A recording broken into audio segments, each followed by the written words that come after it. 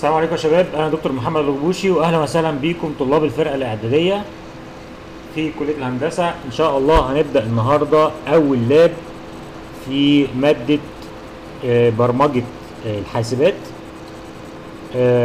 أو أساسيات برمجة الحاسب. إن شاء الله الكورس بتاعنا ده إحنا هنشتغل فيه programming باستخدام ال MATLAB. إحنا في ال lab ده بالنسبة لنا الأولاني ده هنتعرف كده على ال MATLAB الأول. هنتكلم بس على آه، شوية introduction خفيف تمام؟ ونعرف نشوف آدي الجدول بتاعنا أو جدول الأعمال بتاعنا اللي هنشتغله أو دي الحاجات اللي هنعملها في ال lab بتاعنا ده. إزاي أستخدم ال MATLAB في عمليات ال calculations أو إزاي أستخدمه ك calculator عموما؟ computation يعني في الحسابات. إزاي أعمل declaring لل variables المتغيرات؟ إزاي استخدم ال help بتاع ال MATLAB؟ إزاي اعمل generation ل row vector أو column vector أو اعمل generation ل matrix آه، صف في عمود ليها ابعاد مثلا dimension M في N ايا كان قيمة ال M إيه أو ال N إيه إزاي إن أنا عندي آه، vector سواء row أو column أو matrix M في N إزاي أعمل لها transpose وازاي اعمل generating ل sub vector أو sub matrix من vector كان موجود أو من matrix كانت موجوده وازاي ان أنا اعمل delete ل row أو column أو delete ل item واحد بس عنصر واحد من عناصر ال vector أو ال matrix على حسب أنا شغال vector أو column وهنتطرق لشوية ال functions المهمة جدا جدا جدا بنستخدمها في الشغل كتير. تمام؟ آه سواء في الشغل الكورس بتاعنا السنة دي أو في التطبيق بال MATLAB بعد كده لما أنت تتطرق للكلام ده في شغلك آه سواء بعد التخصص بقى سواء دخلت أي قسم من أقسام هندسة المختلفه تعالوا نبدأ ونتكلم. أول حاجة عندنا تعالوا إيه نفتح ال MATLAB. ال MATLAB حضرتك أنت كراجل لسه مبتدئ خالص أول ما بتفتح ال MATLAB بيفتح لك إيه القوائم اللي قدامك دي. هنا أول قايمة قدامك تهمك جدا قايمة مين؟ قايمة ال command window. ال command window أول ما تلاقي تفتح القايمة دي هتلاقي عندك قدام منك إيه؟ حاجة اسمها command prompt اللي هم علامتين الأكبر دول. وبعد منهم هتلاقي ال cursor بتاعك عمال بيعمل blinking كده اللي هو كأنه بينور ويطفي كده. هنا بتكتب ال command بتاعك أو الأمر بتاعك اللي أنت عايز إيه؟ تنفذه. مبدئيا إحنا هنت... هنتكلم في الأول إن أنا هكتب ال command بتاعي هنا تمام؟ لحد لما نوصل لمرحلة إن أنا أعرفك يعني إيه حاجة اسمها سكريبت ويعني إيه حاجة اسمها function إن أنا بدل الكود بتاعي ما بكتبه هنا يعني أنا ال command window ده دي المفروض الشاشة بتاعة التنفيذ. يعني إيه شاشة التنفيذ؟ يعني أنا لما بكتب أي أمر موجود في file script أو في function أو كلام من ده بنفذ فين؟ بنفذ هنا. تمام؟ فاحنا مبدئيا هنكتب الكود هنا وننفذ هنا لحد ما ناخد يعني إيه سكريبت ويعني إيه function file ونشوف بنكتبهم إزاي. طيب يبقى إحنا عرفنا إن أنا ال command window هنا دي دي اللي بكتب فيها الأمر وأنفذه تمام؟ وفي عندي حاجة مهمة اسمها ال workspace ال workspace دي اللي بيتخزن فيها أي متغير بعمل له generation أو declaration أو بعرفه للبرنامج بتاعي فبتلاقي ال- الأمر بتاعك ده أو الم- المتغير بتاعك ده بقى موجود اسمه وال value بتاعته تمام؟ وال size بتاعته أو ال dimension بتاعه موجود هنا. تمام كده؟ تمام. هنا بالنسبة لك ده ال current folder ده أو آه، ال directory بتاعك ده ده آه، آه، نقدر نقول ال files اللي انت إيه اللي انت فاتحها باستخدام مين؟ باستخدام الماتلاب في عندي حاجة هنا كمان اللي هو ده مين؟ ده كده ال history ان أنا أي أوامر قديمة أنا استخدمتها قبل كده بتلاقيها ظاهرة معاك في ال history ده. ولو أنت فاتح file ات معينة كاتب فيها أوامر زي كده أهو ده أو ده أو ده ده اللي إحنا بنسميه سكريبت بس خليه لوقته لما يجي إيه هنبقى نشرحه. طيب إحنا كده خدنا إيه؟ تعريف بسيط على مين؟ على ال- الماتلاب فوق طبعا القوائم دي شريط القوائم ده على حسب أي حاجة أنت عايز تعملها إن أنت تعمل new file آه تفتح ملف قديم تسيب الشغل اللي أنت عملته والكلام ده كله. ولما يجي وقته إيه؟ هنعمله هنستخدمه. وفي ال run كمان إن أنت تكتب البرنامج بتاعك وتدوس على مين؟ على run سيبنا من الكلام ده كله. خلينا إيه؟ نبدأ خطوة خطوة الأول ونفهم إيه اللي إحنا محتاجينه بالنسبة لأول lab أو أول معمل أول lab أو أول معمل أنا هستخدم فيه مين؟ ال command window وهستخدم فيه ال workspace وفقط. تمام؟ يبقى أنا هنا أول lab بالنسبة لي أنا محتاج فيه ال command window ومحتاج فيه مين؟ ال workspace طيب أول حاجة أنا عايز أعرفها في ال lab بتاعي ده إن أنا إزاي أستخدم الماتلاب كإيه؟ ك calculator أو أستخدمه في عملية إيه؟ ال computation اللي هي الحسابات. الماتلاب سهل قوي إن أنا أستخدمه إيه؟ إن أنا أستخدمه في أي عملية حسابية. يعني مثلا هقول لك واحد زائد اتنين في تلاتة. أدي أي عملية حسابية أهي. واحد زائد اتنين في تلاتة. تمام؟ تمام. لو دوست إيه؟ كتبت الكلام ده كده ورحت جاي دايس مين؟ دايس enter. راح جاي مطلع لي ال answer. ال ans يساوي مطلع لي حسب لي القيمة دي. اللي هي كام؟ واحد زائد اتنين في تلاتة. طيب هنا بقى السؤال اللي المفروض تسأله لنفسك هو شغال بأولوية التنفيذ إزاي يعني أنت لو جيت خدت بالك كده هل هو هنا بيجمع الواحد على زائد الاثنين الأول وبعدين يضربها في الثلاثه ولا بيعمل الاثنين في الثلاثه وبعد كده يجمعها ولا ماشية إزاي؟ إحنا في المحاضرة لو تفتكروا إحنا قلنا إن أنا عندي إيه؟ عندي أولوية للتنفيذ. إيه هي أولوية التنفيذ؟ اولويه التنفيذ إن أول حاجة ما بداخل الأقواس. تمام؟ طيب أنا عندي هنا أقواس؟ لا ما عنديش أقواس. يبقى أنا كده إيه؟ دي مش موجودة. طيب تاني حاجة تاني حاجة إن أنا عندي إيه عندي لو عندي حاجة اسمها باقي الاسم والضرب والاسم باقي الاسم والضرب والاسم طيب باقي الاسم والضرب والاسم في عندي ضرب هنا. آه في ضرب. يبقى أنا أول حاجة أروح أعملها مين؟ عمليه الضرب. عشان كده هو قال لك إيه؟ 2 في 3 ب 6 وبعد كده في عندي اسمه لا. عندي في ضرب تاني لا. في عندي باقي اسمه لا.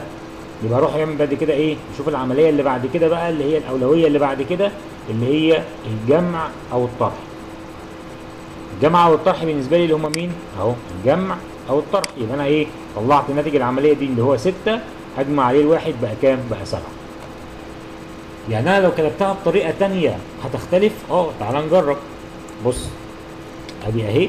ورحت جاي قلت لك إيه؟ قلت لك حط لي القوس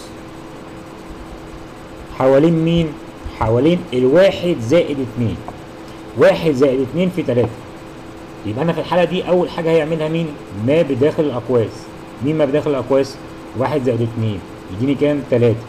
بعد كده هيروح ينفذ اللي ليه الأولوية اللي بعد كده. مين الأولوية؟ ضرب أو اسم أو باقي اسم. ضرب أو اسم أو باقي اسم آه اللي هو الضرب في تلاتة. يبقى تلاتة في تلاتة يديني كام؟ تسعة. يبقى أنس يساوي تسعة. يبقى أنا دلوقتي لو جيت قلت لك واحد زائد اتنين في تلاتة زائد خمسة على واحد زائد أو خليها مثلا تلاتة minus اتنين. تلاتة minus واحد ونص عشان تبقى واضحة. بص بقى أنا عندي هنا إيه؟ أنا عندي هنا الأول الأقواس اهي تلاتة ماينس واحد ونص. وعندي علام آه عملية اسمه وبعد كده عندي عملية ضرب وعندي جمع وجمع. طب يعملها إزاي؟ أول حاجة هيروح يعمل إيه؟ هيروح يحسب ما بداخل الاقواس ويطلع قيمته ويحطه هنا. ثم بعد كده هيروح يعمل إيه؟ هيروح يبص في أولوية تاني في اسمه وفي ضرب. يروح ياخد منين؟ ياخد من الشمال. ياخد الضرب يجيب قيمته. وبعدين ياخد الاسم يجيب قيمتها. يبقى العملية بترتيب ال- الأعمال كده بالنص. أول خطوة يحسب ما بداخل الأقواس. تاني خطوة يروح ينفذ عملية الضرب. تالت خطوة يروح ينفذ عملية القسمه بعد كده يروح يجمع الواحد زائد ناتج عملية الضرب. بعد كده الناتج العملية دي يروح يجمعها على إيه؟ على ناتج عملية القسمه يعني معنى كده يا دكتور انت قصدك بتقول ان هو بينفذ من الشمال بالظبط بس بينفذ من الشمال إمتى؟ مع ترتيب الأولويات. بمعنى تعال ندوس انتر كده. تمام؟ الناتج بتاعك كام؟ 10.33 لما تحسبها بنفس الكلام اللي أنا بقوله هتلاقيه هو عمل نفس الكلام ده بالظبط. تمام؟ يعني مثلا لو افترضنا عشان تبقى أنت آه سهل تعملها هنقول مثلا اتنين. هنقول ادي العملية اهي وهنقول هنا مثلا اتنين. تمام؟ خمسة على الاتنين فيها كام؟ هو هنا المفروض ننفذ بالأق- داخل الأقواس الأول وبعدين كده اتنين في تلاتة بستة. ستة زائد اتنين ونص. ستة زائد اتنين ونص يبقى كام؟ تمانية ونص. زائد واحد يبقى كام؟ يبقى سبعة. ستة زائد اتنين تمانية زائد آه، اتنين ونص. تمانية ونص زائد واحد يبقى تسعة ونص. اهي تسعة ونص. تمام كده؟ تمام. يبقى إحنا كده اتعلمنا لحد دلوقتي ان أنا أقدر استخدم الماتلاب في عملية إيه؟ جمع وطرح وضرب وقسمه اللي هي عمليات حسابية. يبقى عمليات حسابية يبقى أنا في عندي إيه؟ في عندي أولويات. أول أولوية ما بداخل الأقواس. ايا كان مكانها فين بقى؟ مكانها في البسط في المقام في النص في اليمين في الشمال في آخر المعادلة ايا كان يبقى ما بداخل الأقواس الأول بيحسبها ثم بعد كده بيحسب الأولوية اللي بعد كده الضرب أو القسمة أو باقي القسمة حاجة اسمها إيه؟ ال remainder اللي إحنا هن... اللي إحنا اتكلمنا عليه في, في ال flowchart عندنا function اللي بتعمله اسمها إيه؟ mod mod دي معناها إيه؟ معناها باقي القسمة وهنشوفها كمان شوية. تمام؟ يبقى أنا عندي أول أول خطوة إيه هي؟ ما بداخل الأقواس تاني خطوة باقي القسمة والضرب ومين والقسمة. تالت خطوة الإيه؟ الجمع أو الطرح. طيب تعالى نشوف حتة اللي أنا بكلمك عليها دي اللي هي باقي مين؟ باقي القسمة. عملنا سي ال سي ونعمل clear هفترض قبل ما أقول باقي الاسم هنتكلم على مين؟ على المتغيرات الأول عشان إيه؟ عشان ده السيكونس بتاعها وبعدين استخدم باقي الاسم. المتغيرات بتاعتنا إحنا قلنا في المحاضرة اللي هو إن أنا لو عايز أعرف متغير يعني إيه متغير؟ متغير ده حضرتك دلوقتي عايز تعمل عملية الجمع والطرح والضرب والقسمة اللي إحنا كنا بنتكلم فيها من شوية. القيم اللي انت تحطها دي قيم ثابتة. طب افرض إن انت عندك برنامج بقى هتكتبه والبرنامج ده هي إيه؟ هياخد من المستخدم قيم. يعني إيه؟ زي ما اتفقنا أنا في برنامج مثلا كنت بحسب مساحة مستطيل. الأول بتاع البرنامج مين؟ المساحة. طب ال input بتاع البرنامج؟ الطول والعرض. طيب في كل مرة في كل مرة المبرمج في في ال program من جوه هيحط هو الطول والعرض لا طبعا. وإلا البرنامج يبقى مقفول. طب يبقى إيه الحل؟ أنا عايز البرنامج ده يبقى متاح لكل المستخدمين يستخدموه. بمعنى بمعنى إيه يا دكتور؟ أنا مش فاهم.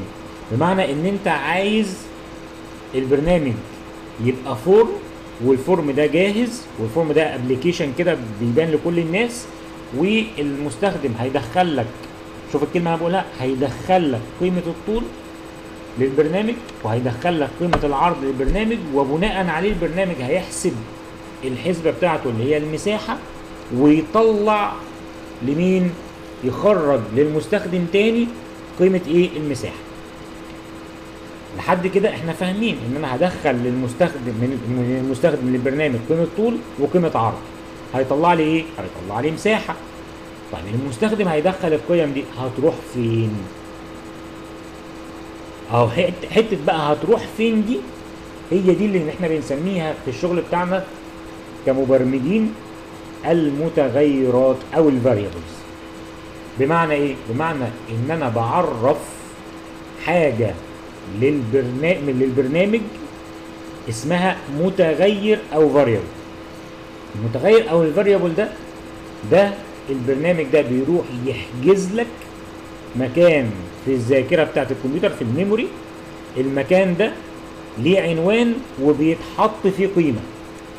تمام كده؟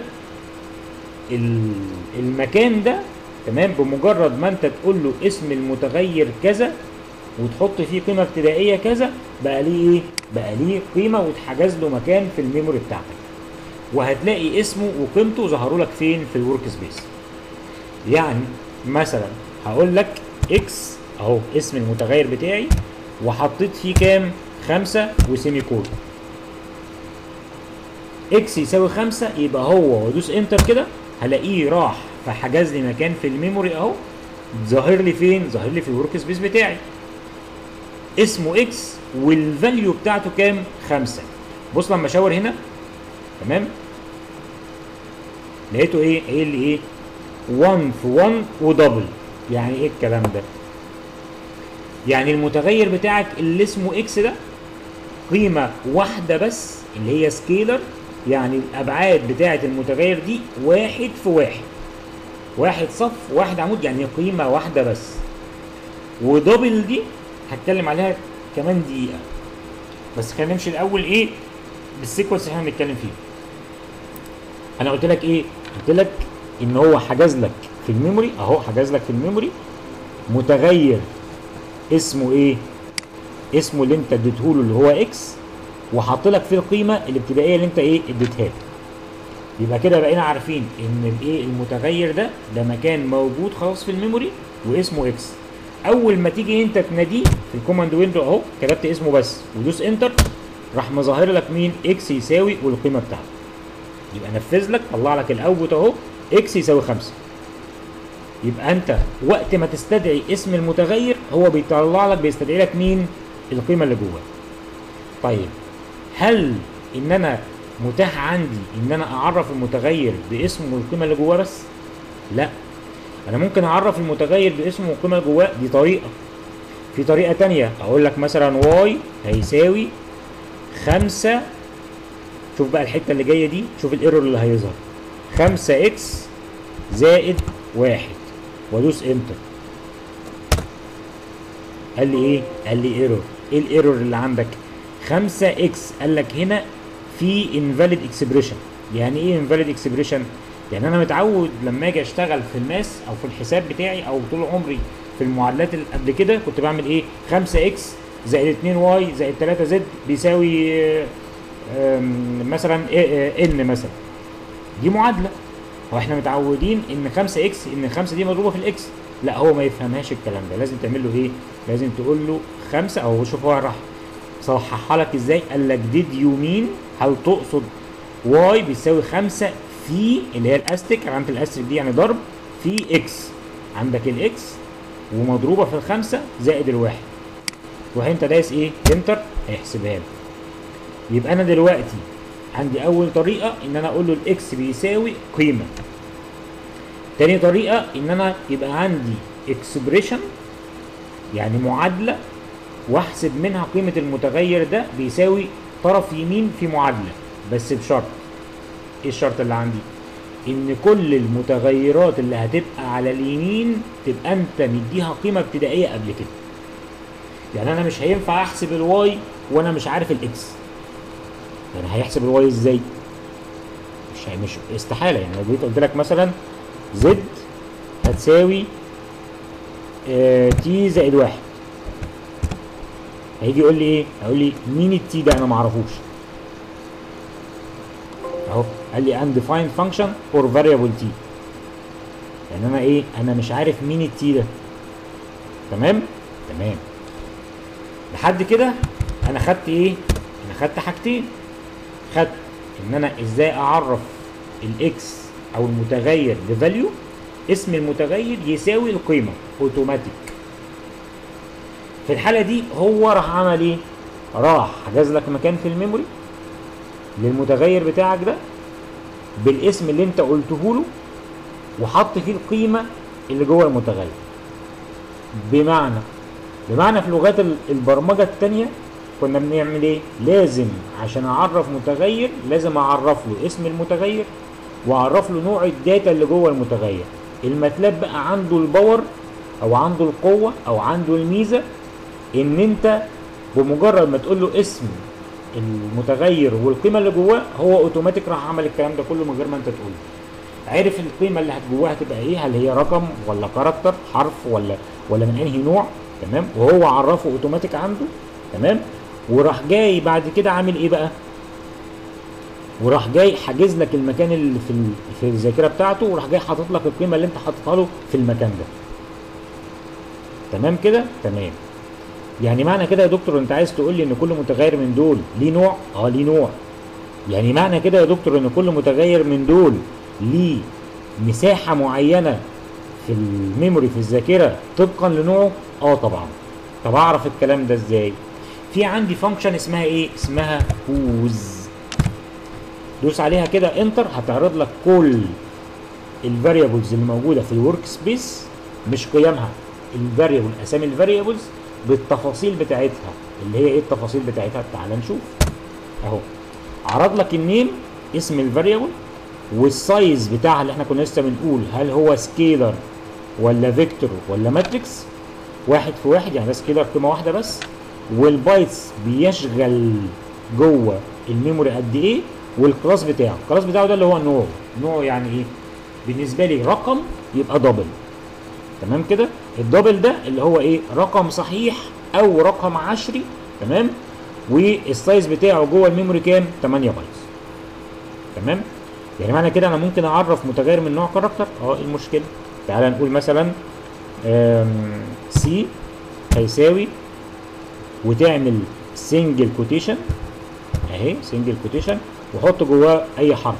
أي حرف مثلا g ودوس semicolon أهو. قال لك عرف لك متغير جديد اسمه سي تمام؟ لو جيت حطيت اهي بص واحد في واحد و character يعني أنا معنى كده إن أنا ممكن يبقى عندي أهو سي اتنين اسمه متغير جديد أهو. تمام؟ واكتب فيه مثلا اهو بص بقى عرف لي متغير جديد اسمه سي 2 بس بص خلي بالك بقى من اللقطة اللي جاية دي. بص ال dimensions بتاعته بقت كام؟ واحد في سبعة. إيه السبعة؟ بص بقى واحد اتنين تلاتة أربعة خمسة ستة سبعة. طب بص كده. لو جينا كتبنا مين؟ لو جينا كتبنا whos. بص بقى. السي لوحده كان أربعة. السي لوحده كان إيه؟ bytes واخد اتنين. تمام؟ واخد اتنين للإيه؟ للحرف الواحد. طب لو أنا دلوقتي عندي سبعة اتنين في سبعة بكام؟ أربعتاشر بايت يبقى اتنين في سبعة بكام؟ بأربعتاشر. يبقى أنا ال character لو حرف واحد بس وحيد هياخد كام؟ هياخد اتنين بايت في ال memory طب الرقم بتاعك أي رقم هياخد كام؟ هياخد 8 بايت يبقى هنا كل ما تزود يبقى خلاص هو إيه؟ الخانة دي 2 بايت في ال character الخانة دي 2 بايت الخانة دي 2 بايت الخانة دي 2 بايت يبقى الحرف الواحد بيتخزن character بكام؟ 2 بايت تمام كده؟ تمام يبقى أنا كده خدت إيه؟ اسم المتغير لازم يبقى بادئ بحرف. لازم يبقى بادئ بحرف. ممكن يبقى mix ما بين حروف وأرقام. ممكن يبقى حروف بس. تمام كده؟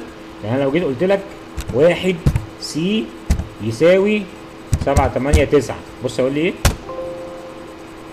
error invalid expression. اسم المتغير لازم يبقى بادئ بحرف. لازم يبقى بادئ بإيه؟ بحرف. ممكن يبقى كله حروف ممكن يبقى حروف.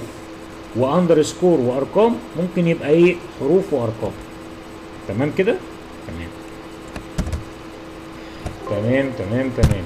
يبقى إحنا كده عرفنا إزاي أعرف متغير.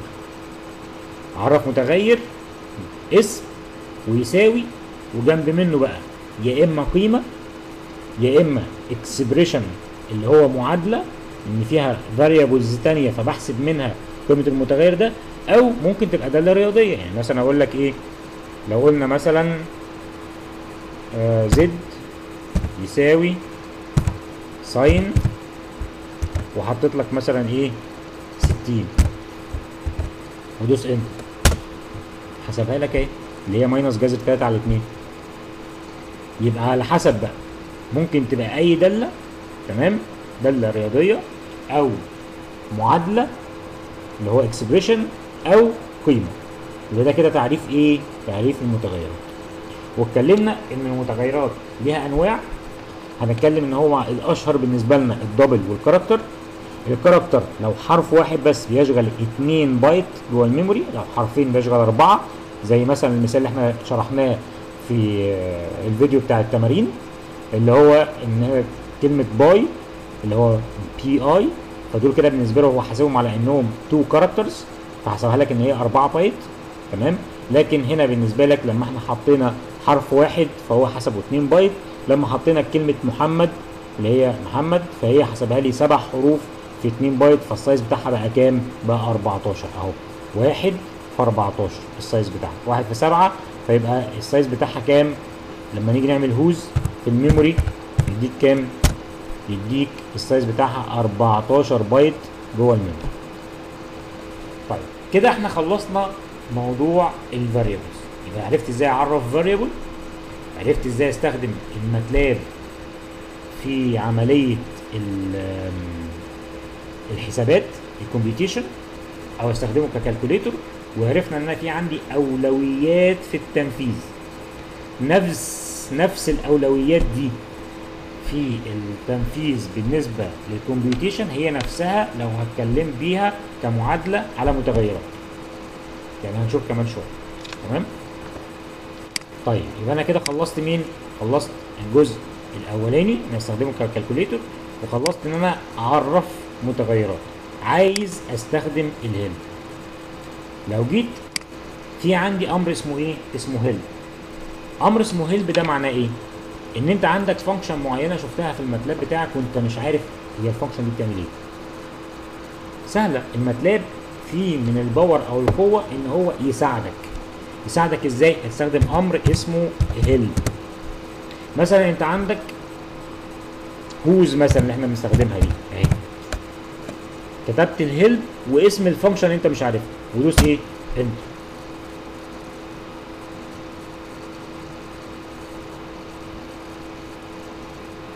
بص راح جاي ظاهر لك إيه؟ قال لك whos list current variables بيعمل قائمه بالمتغيرات الحالية in long form. Long form يعني إيه؟ long form whos it lists all variables in the current workspace together with the information about their size bytes and class وهكذا. أهو بيقول لك إن الايه إن ال whos دي بتعمل لستة لكل ال variables الموجودة في ال workspace وبايه بالتفاصيل بتاعتها. إيه هي؟ ال size وال byte أهو ال size كان في كام؟ والبايت مساحتها جوه ال memory قد إيه؟ وال class بتاعتها اللي هي character ولا double إلى آخره. تمام؟ ماشي. يبقى الكلام ده جميل. يبقى إحنا ال help بيساعدنا كتير لو أنا إيه؟ لو أنا مش عارف إزاي أستخدم function معينة وال function دي مش عارف معناها إيه. هتلاقي هنا كمان بص كاتب لك كده إيه؟ يساوي S S يساوي whos ده بت return كذا. لو كتبت whos لوحدها بتعمل كذا. لو كتبت who لوحده بتعمل كذا. طيب لو جيت أنا قلت لك who who دي شكل مبسط من ال whos يعني إيه؟ يعني who من غير ال S هتعرض لك أسامي المتغيرات فقط اللي موجودة جوه مين؟ جوه ال workspace أهو. Your variables are c 2 x y z. تمام كده؟ تمام. تعالوا بقى نخش على إيه؟ على حاجة جديدة. أمر سي إل سي اللي أنا عمال أمسح بيه الشاشة دي يبقى خلاص إحنا تلقائي عرفنا إن كلمة سي ال سي سمول بتعمل إيه؟ بتمسح لي ال command window تمام؟ الخطوة اللي بعد كده أنا عايز أعمل إيه؟ إزاي أتعلم؟ إزاي أعمل generation ل row و column vector و matrix M of N matrix. تعال نشوف. إحنا اتعلمنا في المحاضرة إيه؟ ان أنا عندي المصفوفات انواع. يا اما صف مصفوفة صف أو مصفوفة عمود أو مصفوفة صف في عمود اللي هي إيه؟ اللي بنسميها two dimension يعني الصف لوحده ده 1 dimensional عمود لوحده ده 1 dimensional طيب صف في عمود دي إيه دي 2 dimensional هفترض مثلا إن أنا هسمي vector V واحد. بيساوي. عايز ال- الصف ده يبقى إيه؟ في قيم 2 4 5 6 9 وهكذا. باجي أعمل إيه؟ بكتب اسم ال vector اللي أنا هشتغل بيه يساوي و square bracket اللي هو الشكل ده square bracket ده قوس المربع ده وابتدي اكتب اول عنصر عندي في مين؟ في ال vector ده. say مثلا 2 طيب حطيت لي 2 عايز اكتب الايه؟ ال element اللي بعده. في عندي طريقة من 2 يعمل مسافة واكتب ال vector ال element اللي بعده مثلا say 5 مسافة 8 مسافة 9 مسافة 40 مسافة 800 188 مسافة آه، zero مسافة 12 مسافة 6 مسافة سالب واحد وهكذا. وبعد كده أروح جاي إيه؟ قافل القوس. لو أنا عايز ال vector ده يتعرض لي في ال command window ما أحطش بعديه semicolon هيتخزن لي في ال workspace وهيتعرض لي في ال command window. إزاي؟ أهو. اتعرض لي في ال command window. ويتخزن اهو V واحد اهو تمام؟ لو جيت بصيت عليه إيه؟ double يعني العناصر اللي جواه من النوع double تمام؟ اللي هو سواء integer أو عشري وكام؟ وال size بتاعه واحد في 10 elements يعني صف واحد اهو صف واحد في كام element 10 واحد اتنين تلاتة اربعة خمسة ستة سبعة تمانية تسعة عشرة. يبقى 10 إيه؟ 10 elements طيب افرض بقى إن أنا الطريقة الثانية أهو V 2 V 2 إيه الطريقة الثانية يا دكتور؟ حط comma بين كل عنصر وعنصر. comma. comma. comma. comma. point 6 comma.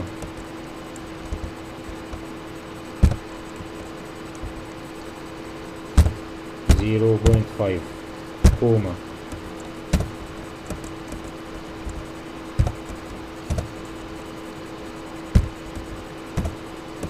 ماشي واحط لك إيه semicolon ودوس إيه enter بص عمل إيه؟ هو هنا سيفه لي V 2 أهو تمام؟ ومن نوع double برضو واحد في 10 رغم إن أنا حاطط فيها علامات عشرية أهو تمام؟ يعني في حاطط رقم عشري يبقى هي إيه؟ يبقى الرقم ال integer الصحيح والعشري هو بيحسبه كله على إن هو رقم إيه؟ من النوع double تمام؟ اتسيف هنا بس ما تعرضش في ال command window طب أنا لو عايز أعرضه في ال command في ال command window اكتب اسمه. V 2 وأدوس enter راح أعرضه لي فلما عرضه لي تاخد بالك بقى من حاجة. طالما أنت حاطط أرقام عشرية راح جاي مخلي لك كله ظاهر عنده على إن هو أرقام عشرية. ليه؟ لأن ما ينفعش تخلي بص الكلمة هقولها. تخلي نوع ال data اللي موجودة جوه ال vector أو ال matrix نوع mix. يعني إيه؟ يعني لو هو رقم عشري يبقى كلها أرقام عشرية. لو هو رقم صحيح يبقى كلها أرقام صحيحة. لو كلها حروف يبقى كلها حروف. يبقى تاخد بالك من التفاصيل الصغيرة دي. إن أنا ما ينفعش أعمل مصفوفة mix. ما ينفعش أعمل matrix mix. ما ينفعش أعمل vector mix. طيب. ده كده لو أنا عايز أعمل إيه؟ لو أنا عايز أعمل row vector يعني صف واحد ومكون من elements كتير اللي هي إيه؟ اللي هي أعمدة. بفرض إن أنا عايز أعمل row عايز أعمل column قصدي. فأجي أقول له طالما column مثلا هخليه V 3 يساوي. عندي طريقة من اتنين. يقول له العناصر اللي جوه بينهم semicolon اللي هي الفاصلة المضغوطة بتاعتك دي خمسة semicolon سبعة semicolon تسعة semicolon تمانية semicolon أربعة وهكذا. وادوس enter. أهو عملها لي عمود. هو عمود واحد بس كام صف؟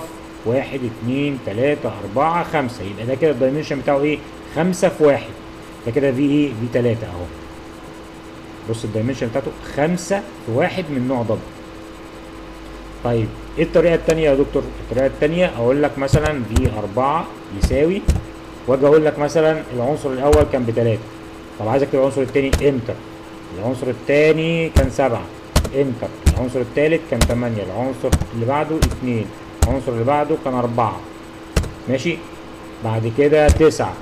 وبعد آخر element أروح جاي عامل إيه؟ ال square bracket بتاعي وأروح جاي دايس إيه؟ عايز semicolon يتعرض يتعرض ما يتعرضش وت- وتتسيب في ال workspace أو دوس enter فيتعرض لي في ال command window أهو. اتعرض لي في ال command window لحد كده جميل قوي تمام؟ عرفت إزاي أعمل row وإزاي أعمل column طيب إزاي أعمل بقى مصفوفة صف في عمود؟ المفروض إن أنت فهمت اللعبة.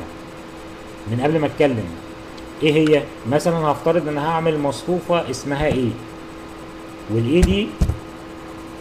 ثلاث صفوف في ثلاث أعمدة. هعمل إيه؟ خلاص هتقول لي سهلة. الصف الأول مثلا أول عنصر فيه كان أربعة. بعد كده comma العنصر الثاني خمسة. comma العنصر الثالث سبعة. اللي بعد كده إيه؟ هتنقل لسطر جديد اللي هو الصف الثاني يبقى semicolon بعد كده ال element اللي في الأول element في الصف الثاني كان 8 بعد كده خمسة. بعد كده سبعة. بعد كده هعمل إيه؟ semicolon هتنقل لمين؟ للصف الثالث تسعة. comma. خمسة. comma. اتنين. كده خلصت. وأروح جاي قافل بإيه؟ بال square bracket وأدوس enter عمل لي المصفوفة اهي اللي هي إيه؟ ثلاث صفوف في ثلاث أعمدة. يبقى إحنا كده عرفنا إزاي أ generate مصفوفة M في N ايا كان بقى إيه كام صف في كام عمود. بعمل ال element الأول اللي هو الأربعة ده أهو وال element اللي بعده ما بينهم وبين بعض comma أو مسافة. وال element اللي بعده ما بينهم وبعض بعض comma أو مسافة. عايز أتنقل لإيه؟ للصف الجديد. أعمل إيه؟ semicolon أو enter نفس اللي كنت بعمله فوق بالظبط. بعد كده ال element الأولاني في الصف الثاني أهو. وبعد كده comma ال element اللي بعده أهو. comma ال element اللي بعده أهو. طب عايز أتنقل لصف جديد. semicolon وبعد كده أكتب ال element اللي إيه؟ أول element في الصف الجديد. أهو. تسعة. وبعد كده comma ال element اللي بعده. comma ال element اللي بعده. وهكذا لحد ما أخلص المصفوفة وأروح جاي قافلها بمين؟ بال square bracket بتاعي يبقى أنا كده اتعلمت كام حاجة. اتعلمت إزاي أعرف متغيرات وعرفنا يعني إيه متغير وعرفنا إزاي أجيب تفاصيل المتغير ثم بعد كده اتعلمت إزاي أعرف row vector وإزاي أعرف column vector تمام اللي هي مصفوفة صف ومصفوفة عمود واتعلمت إزاي أعرف أو أدخل على الماتلاب مصفوفة m في n اللي هو صف في عمود ايا كان بقى عدد الصفوف كام؟ في عدد الاعمده كام؟ طيب من ضمن العمليات اللطيفة والظريفة والمهمة إن أنا عايز إيه؟ أعمل حاجة اسمها transpose للمصفوف. يعني إيه الكلام ده؟ يعني أدور المصفوف. برضو يعني إيه يا دكتور؟ مش فاهم. يعني أخلي كل صف عمود وكل عمود صف. إزاي يعني؟ هتيجي تعالى كده v أربعة. v أربعة ده كان إيه؟ كان عمود أهو column. صح؟ column vector. هدوس v أربعة وأعمل إيه؟ single quotation أو علامة ال apostrophe دي. أهي. دي كده معناها إيه؟ transpose تدور المصفوفة ادوس كده enter بقت كام؟ بقت إيه؟ بقت صف مش عمود. بس في الحالة دي أنا ما غيرتش في ال v 4 أنا عملت مصفوفة جديدة. تمام؟ بقت موجودة فين؟ في ال ans أو ال answer تمام؟ بعدين إيه؟ دورت المصفوفة. طب أنا عايز أ save ها في مصفوفة جديدة. أقول له إيه؟ أقول له v 5 تساوي v 4 و transpose بص v 5 بقت إيه؟ بقت صف طيب عايز أدور ال v 5 تاني. أدي ال v 5 transpose. بقت إيه؟ بقت عمود طيب أنا عندي المصفوفة اللي هي ال A أهي. دي ينفع تتدور؟ يعمل لها transpose. آه ينفع. إيه المشكلة؟ أهي. A transpose. عملت لها A transpose هتلاقي الدنيا عملت معاك إزاي؟ 4 5 6 4 5 7 بدل ما هي صف هتبقى عمود. بص ال 4 5 7 بقت 4 5 7 في العمود بدل ما كانت صف بقت عمود. 8 5 7 كانت صف بقت عمود 8 5 7 9 5 2 بقت 9 5 2 يبقى أنا دلوقتي ال transpose ده ينفع على أي مصفوفة أو على أي vector. ما ال vector هو إيه؟ هو جزء من مين؟ من المصفوفة سواء كان صف أو عمود. طيب لحد كده جميل قوي. يبقى أنا كده اتعلمت شغل كتير قوي. اتعلمت إزاي استخدم الماتلاب ك calculator إزاي اعرف متغير إزاي استخدم ال help إزاي اعمل generation أو ادخل آه ال row وال column vector أو مصفوفة m في n وتعلمت كمان إزاي اعمل transpose لمين؟ للمصفوفة أو ال matrix. طيب إحنا دلوقتي بقى عايزين نعمل حاجة تانية شوية عمليات مهمة على مين؟ على ال vectors أو المصفوفات. تعالى نتكلم واحدة واحدة كده ونشوف. أدي سي ال سي هناخد مثلا vector زي v واحد. v واحد ده كام element مش هقعد أعد بقى أقول كام element في عندي حاجة اسمها length نحفظ بقى. length of of مين؟ اسم ال vector. length of كذا ال vector ده فيديك كام element جوه مين؟ جوه ال vector. دوس إيه enter اداني كام؟ 10 اهو لو جيت عديتهم. واحد اتنين تلاتة أربعة خمسة ستة سبعة تمانية تسعة عشرة. يبقى أنا كده ال length دي بتجيب لي عدد إيه؟ عدد ال elements الموجودة جوه مين؟ جوه ال vector. طب لو أنا عندي مصفوفة m في صف في عمود مش هجيبها ب length هجيبها بمين؟ هجيبها ب size حاجة اسمها size of أنا عندي اسم مصفوفة كان مين؟ كان A؟ بص كده هيديك إيه؟ يقول لك كام صف في كام عمود؟ تلاتة في تلاتة يبقى إحنا كده اتعلمنا ال length وتعلمنا ال size ال length ده هو إيه هو دي مصفوفة بتجيب لي عدد ال elements الموجودة جوه مين؟ جوه ال vector. طيب size بتجيب لي المصفوفة دي كام؟ صف في كام عمود؟ يعني أنا لو جيت قلت لك size وجيت قلت جاي لك جاي قايل لك إيه؟ v واحد. الحاجة دي هتطلع إيه؟ v واحد ده row صح؟ يطلع صف واحد في كام عمود؟ في 10 أهو صف واحد في عمود في 10 اعمده. تمام كده؟ طيب تعالى برضو نرجع للكلام اللي إحنا كنا هنقوله دي واحد اهو. أنا عايز العب شوية حاجات كده اعملها على مين؟ على ال vector ده. هفترض ان أنا مش عايز كل ال elements دي. عايز اعمل generate لمصفوفة جديدة مثلا هسميها q وال q دي أنا عايز فيها ال elements بص بقى واحد اتنين تلاتة أربعة من أول هنا اول element الرابع لحد ال element خمسة ستة سبعة ال element السابع. فاجي أعملها إزاي؟ لو جيت قلت لك V واحد of بص القوس ده شكله اتغير. ده مش square قوس عادي. من ال element الرابع العنصر الرابع إلى ناخد إيه؟ التاني. يلا. ماشي؟ يبقى أنا قلت إيه؟ أربعة نقطتين في بعض إحنا بنسميها colon وبعد كده ال element الثامن وإيه؟ واقفل القوس. وأدوس إيه؟ وأدوس انتر يبقى المصفوفة دي هتطلع لي كام عنصر؟ الرابع الخامس السادس السابع الثامن. هيبقى فيها خمس عناصر. والخمس عناصر دول قيمهم هتطلع إيه؟ أهي.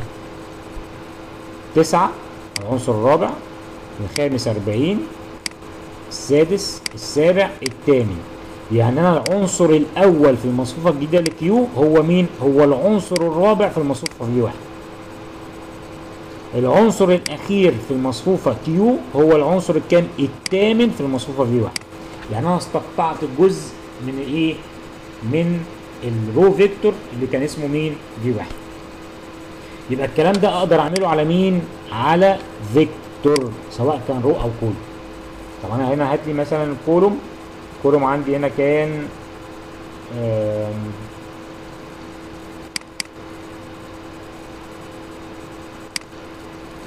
اوجع قلبي ليه أهو. هوز فأنا هنا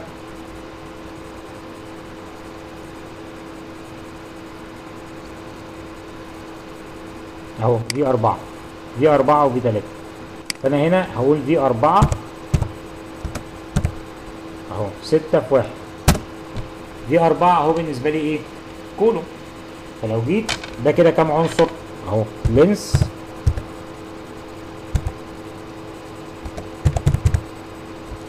of V 4 طلع لي كام؟ 6 عناصر صح كده؟ فأجي أقول له إيه؟ أقول له مصفوفة جديدة مثلا أو row جديد أقول له S تساوي V أربعة ونفتح القوس العادي مش ال square تمام؟ وأحط أقول له مثلا عايز من الاليمنت التالت بص بقى الكلمة اللي أنا هقولها دي لإند. افرض إن أنا مش عارف آخر عنصر كام. أقول له من العنصر التالت لحد إند لحد آخر عنصر. يبقى هيديني هنا في الحالة دي اللي هو 6 يمين عشان هم ست عناصر يبقى العنصر الثالث والرابع والخامس والسادس يبقى كام عنصر؟ أربعة. أهم أدي الثامن أدي العنصر الرابع واحد اتنين واحد اتنين تلاتة أهو من أول العنصر الثالث قايل العنصر الثالث يبقى من أول تمانية ده العنصر الثالث والرابع والخامس والسادس أهو تمانية اتنين أربعة تسعة نفس اللي كانوا مكتوبين تمانية اتنين أربعة تسعة تمام كده؟ يبقى هما كام؟ أربع عناصر يبقى ده الطريقة دي أقدر أكتبها على إيه؟ أكتبها أستخدمها لل row سواء كان قصدي لل vector سواء كان row أو column. إن أنا أكتب اسم ال vector وبين قوسين قوسين عاديين أقول له أحدد له أنا عايز ال elements من كام إلى كام. طيب تعالى بقى نتكلم على مين؟ على مصفوفة صف في عمود اللي هي كانت الإيه؟ مصفوفة صف في عمود بالمنظر ده. هفترض إن أنا همشي واحدة واحدة من الأول للآخر. هفترض إن أنا عايز أغير قيمة element واحد عنصر واحد. فاعمل إيه؟ أنا عندي صف وعمود. أقول له إيه اسم المصفوف والقوسين العاديين وأقول له إيه؟ ال element ده بتاعك ده اللي أنت عايز تغيره ده أنهي element في المصفوفة؟ هفترض مثلا ال element اللي إيه؟ ده. ال element ده هو إيه؟ هو الصف الثالث العمود الثاني يبقى هاجي جوه كده الصف الثالث يبقى الأول دايما هو الصف بعد كده العمود إيه؟ الثاني يبقى أنا كده حددت له قيمة العنصر اللي جوه المصفوفة. عايزه يبقى كام؟ عايزه يبقى مثلا 100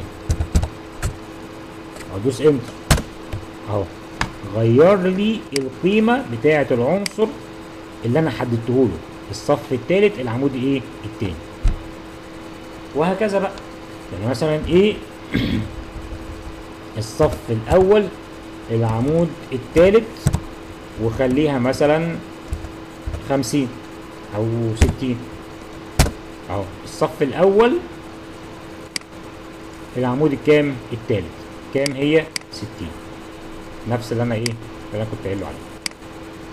تمام كده؟ يبقى أنا إيه هنا أقدر أغير إيه قيمة أي عنصر جوه مين؟ جوه المصفوفة. طيب افرض بقى إن أنا عايز أعمل generate مصفوفة اللي إحنا بنسميها sub matrix من المصفوفه ال A أعملها إزاي؟ هفترض مثلا عندي R وال R ده أنا عايزه إيه بقى؟ بص بقى.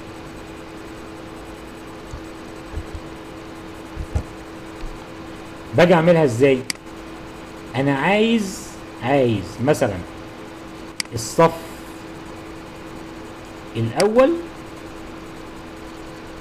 والصف الثالث والعمود الثاني والعمود الثالث يعني أنا عايز إيه؟ الصف الأول والثاني والعمود الثاني والعمود الثالث أنا عايز ده 65 وعايز إيه؟ 102 أعملها إزاي؟ إحنا خدنا في المحاضرة إن أنا باجي أروح جاي قايل لك إيه؟ بص بقى. إيه؟ وبين القوسين دول أقول لك من إلى دي طريقه ومن إلى دي طريقه بس في الحالة دي في الحالة دي أنا هنا بتكلم على إيه؟ إن أنا من إلى يعني الصفوف كلها ورا بعضها. طب أنا افرض مش عايز كده. افرض إن أنا عايز عايز إيه؟ عايز أقول لك الصف الفلاني والصف العلاني زي ما أنا كنت بتكلم من شوية. أعملها إزاي؟ بص بقى كده.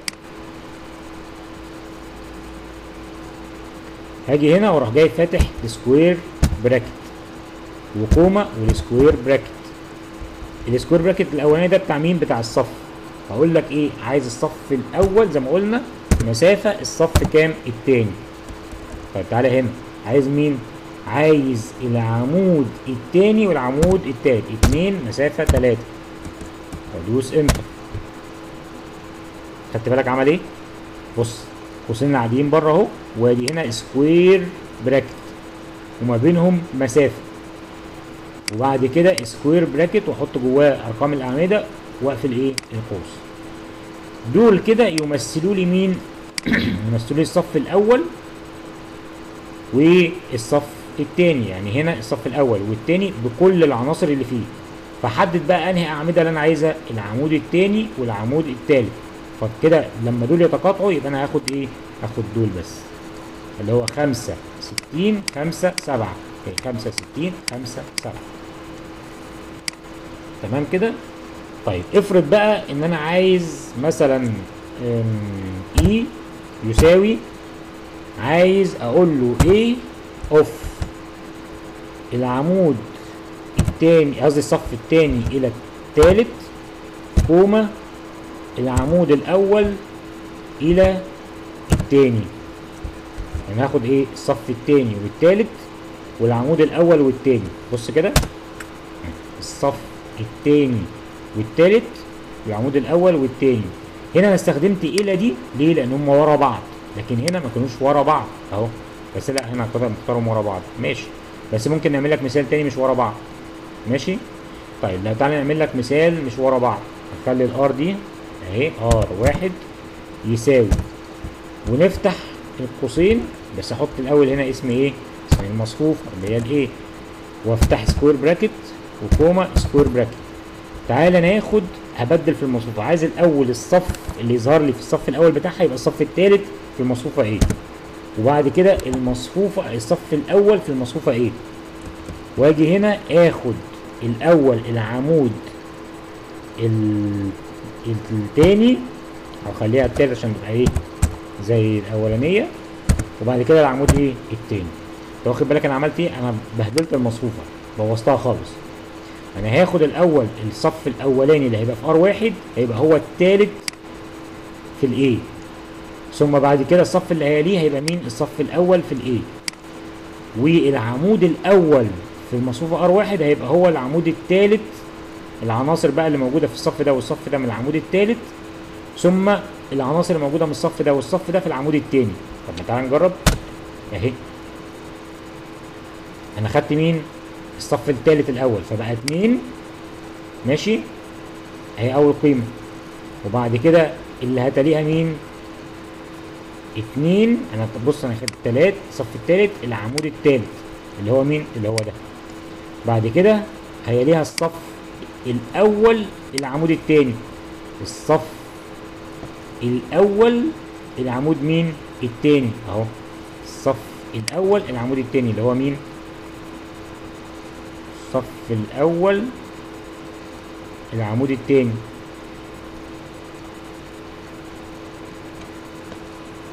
هو هو لخبط الدنيا ليه كده؟ الصف الأول التالت العمود التالت اللي هو مين؟ اللي هو اتنين بعد كده الصف الأول العمود التالت الصف الأول العمود التالت اللي هو الستين أهو. الصف الأول العمود التالت ماشي؟ طيب هنا الصف الأول الصف التالت الأول العمود التاني الصف التالت العمود التاني اللي هو 100 ده تاني عنصر هنا أهو. أهو. بعد كده الصف الأول العمود التاني الصف الأول العمود التاني خمسة. يبقى على حسب ما انت بتقول له هو بيعمل هو بينفذ. تمام؟ فاحنا هي دي طريقة تانية اهو.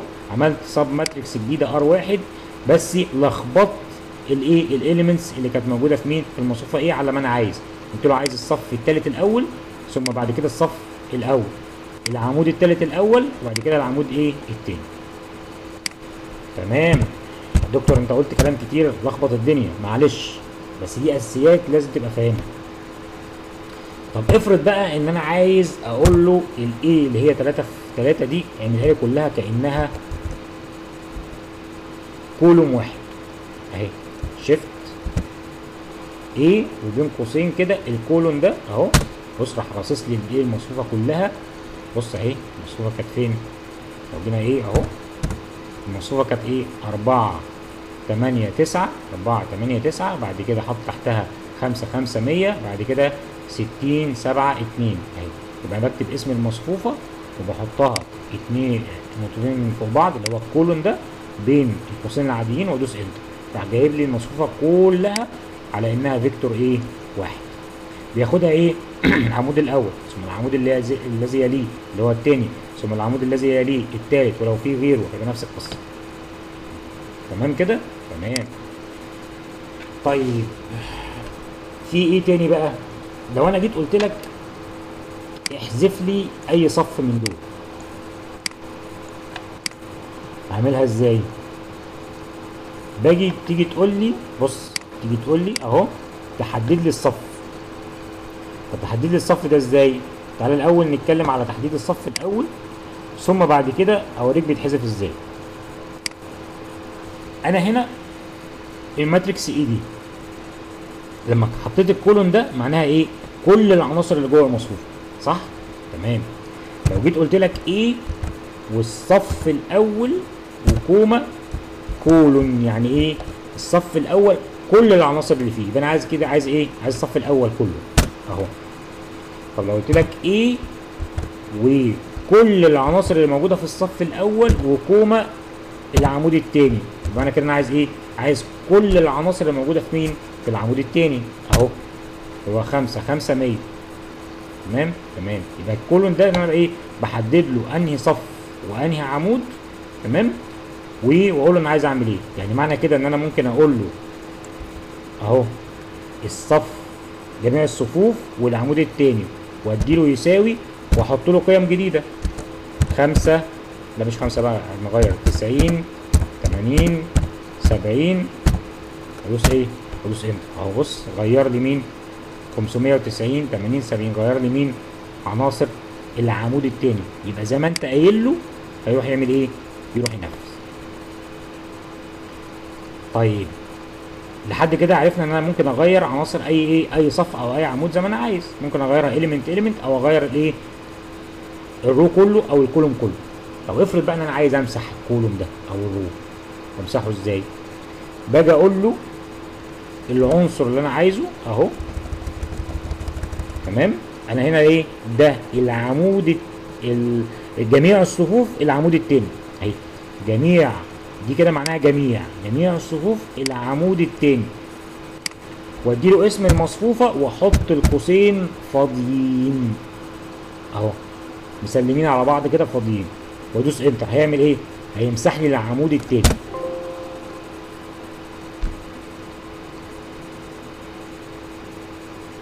هنا invalid expression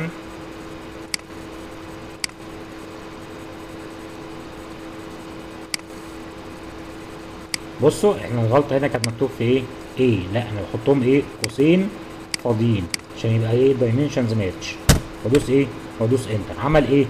مسح لي العمود التاني أهو. العمود كان إيه؟ العمود التاني كان 590 80 70 مسحه لي أهو. يبقى أنا بعملها إزاي؟ A وأحط جواها مثلا خليها مثلا بقى إيه؟ صف. وأجي أقول لك مثلا الصف الأول. و comma إيه؟ كل الأعمدة. واحط دي بس ما احطلوش اسم المصفوفة. اسم المصفوفة لما انكتبت هنا فقال لي انت كده بوظت ال dimension. ال dimension لازم تبقى إيه؟ تبقى matching. فأنا بحط قوسين فاضيين. بس. وادوس إيه؟ وادوس enter. تمام؟ فمسح لي مين؟ مسح لي كده إيه؟ الصف الأول. كل الأعمدة معناها الصف الأول كله. تمام؟ يبقى أنا عرفت إزاي أمسح مصفوفة. أمسح صف أو عمود من المصفوفة. ولو أنا عايز أصفر element معين خلاص أنا بعمل قيمة العنصر ده تمام؟ بحدد له هو مكانه فين جوه المصفوفة واحط جواه إيه؟ واحط جواه صفر. يعني مثلا هنا A of مثلا كام؟ آه واحد comma اتنين. يبقى ده كده الصف الأول العمود التاني. الصف الأول العمود التاني اللي هو مين؟ اللي هو سبعة ده. أقول له يساوي إيه؟ يساوي صفر. بصفر يبقى أقدر أغير قيمة أي element أقدر أغير قيمة أي row أو column أقدر أمسح قيمة أي row أو قيمة أي إيه أي column تمام كده؟ طيب تعالى بقى نتكلم مثلا لو عندي A واحد يساوي أربعة خمسة أربعة ستة ثمانية تسعة عشرة